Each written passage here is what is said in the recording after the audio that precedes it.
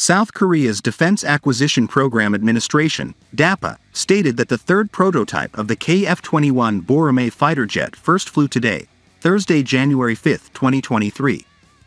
Photos and videos of the third KF-21 maiden flight are also circulating in cyberspace.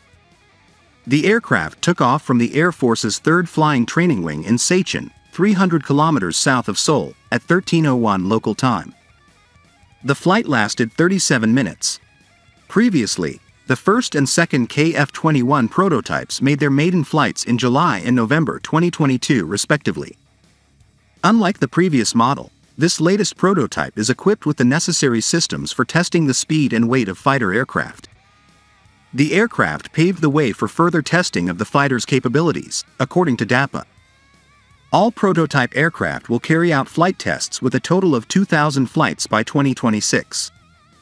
The KF-21 project, previously named KFX, IFX, was launched in 2015.